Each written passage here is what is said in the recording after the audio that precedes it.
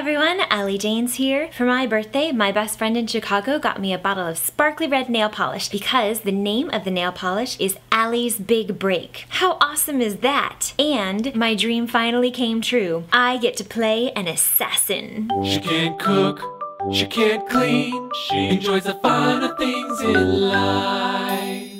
This past weekend, I got cast as an assassin. I will be playing an ex-assassin who gets pulled back into assassinating by her evil ex-boss. Good times! I'm looking forward to the butt-kicking and the espionage and the intrigue. Will I get to drink martinis too? Only time will tell. Although, I prefer margaritas, frozen, not stirred. Last week, I filmed a segment for a hidden camera show. I think my bit will be airing the week before Valentine's Day, but I will let you guys know if I get more details. I have one question left unanswered from my questions with Ali last week, so here it goes. Plastic Star asks, if you could go back in time, when and where would you go? That is an excellent and difficult question. If I could just pick specific moments of fun and not have to stick around for all the doctors with leeches and the dying of consumption and the chamber pots, then this is where I would go. I'd like to spend a few days in Victorian England, maybe get some Yorkshire pudding, sing a few carols. Then I I'd love to hang out for a bit in the mid 30s or late 1940s, get dolled up and maybe drive around in a 36 Chevy for a bit. I would love to see the coronation of Hatshepsut. She was the only female pharaoh of Egypt. That girl rocked it. Then I think it would be fun to be on set during the filming of Some Like It Hot, see Jack Lemmon and Tony Curtis go crazy. Finally, I think it'd be a blast to go to a 1928-ish Gatsby-like party. That would be totally just for the fun of it. In my last vlog, I talked about what a wuss I am in the cold and how I find anything less than 50 degrees super freezing. As a result, some of you thought that I didn't truly understand the meaning of cold. I realize now that I left out crucial information in my response and I would like to clarify. I grew up in northern New Hampshire, not southern New Hampshire, not almost Boston. I grew up in almost Canada, New Hampshire, in the White Mountains. It is freezing up there for nine months straight. There are nine months of snow and ice, and it's often so cold it's too cold for snow. I know cold.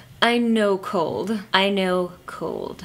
You know how people say you get used to the cold? Not true. I lived there for 18 years and I never got used to it. I had thermal window shades, blankets galore, and a radiator in my room that I kept set to 77 degrees all the time. Never got used to it. Then I moved to Chicago. Still stupidly cold, but only for seven months instead of nine months. Still never got used to it. So now I'm here in LA, a climate that my internal thermometer actually gets. Fun fact, my normal temperature is about a degree and a half lower than 98.6. So much like a reptile, it's a lot harder for me to stay warm. Ugh, too bad reptiles are so icky, or we could totally hang out together. This past weekend, I went to a very cool gallery show of this photographer I know, Kyle Cassidy. He took this really intriguing set of photos on this very basic Leica digital camera made in 1998. His concept for the gallery show was to print the photos as 4x6s, and then he opened up the opportunity to everyone to host the gallery show. It could be in a dorm room, in an alley, anywhere you can think of. He would mail the gallery show host the photos, and then the host could hang them in whatever order they wanted, however they wanted. So every show would be a different experience, and the photos would always be telling a different story. The photos themselves are really beautiful and intriguing, but the concept of the gallery show is even cooler. The show that I attended was in the Venice Beach area of Los Angeles, and it was held in someone's garage. There are shows coming up all over the US and more being planned overseas. So if you're interested in the photos, attending a show, or hosting a show, I'll put some links to Kyle's project below.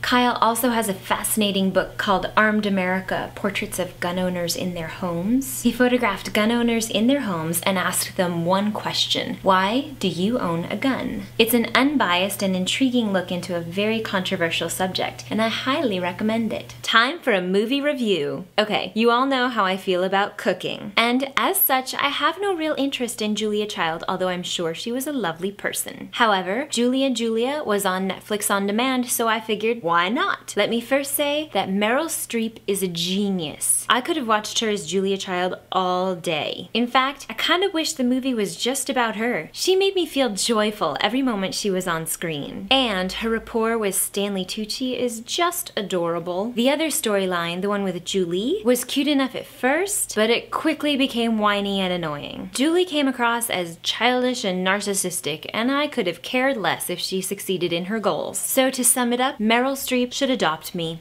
Question of the week Is there a piece of art that's had a big impact on you? Let's limit this to the visual arts. Could be painting, photo, sculpture, movie, fashion design, architecture, etc. Leave a comment or video response below. Thanks for watching. Later, lovelies. As for nicknames that I've given, my pets get the worst of it. Their nicknames are continually evolving. Maxwell used to be called Booger because he has a brown little spot of fur right here. It's silly.